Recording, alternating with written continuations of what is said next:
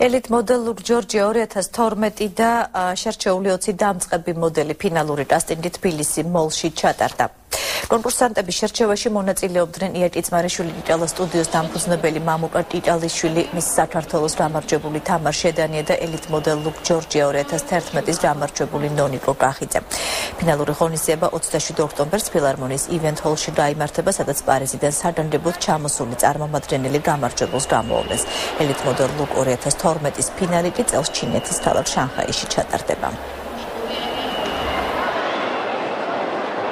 საქართველოში უკვე მეექვსედ ტარდება საერთაშორისო სამოდელო კონკურსის ელიტ მოდელუქის შესარჩევი ტური. ეს გახლავთ ფრანგული პროექტი, საერთაშორისო სამოდელო სააგენტო ელიტის მიერ დაარსებული და დღეს ჩვენ თბილისი მოლში ვატარებთ ღია კასტინგს, რის შედეგადაც უნდა შევარჩიოთ 20 გოგონა, რომელიც გააგრძელებს მზადებას უკვე ფინალური შოუსთვის და 27 ოქტომბერს ელიტის წარმომადგენელი თავად შეარჩევს გამარჯვებულს, რომელიც გაემგზავრება მსოფლიო ფინალზე შანხაიში. გიგალა სტუდიო როგორც ის არის ამ კონკურსის პარტნიორი და შესაბამისად გამარჯვებულ გოგონებს ჩვენ გავუკეთებთ მე ლუკბუქებს და პორტფოლიოებს, რომელიც მათ გამოადგებათ შემდგომში პროფესიულ წარმატების მისაღწევად. თავიდან მართლა ძალიან ნერვიულობდი, მაგრამ რომ ითქეს რომ მეორე ტოში გადავედიო, ძალიან გამიხარდა და ნერვიულობას მომასნა.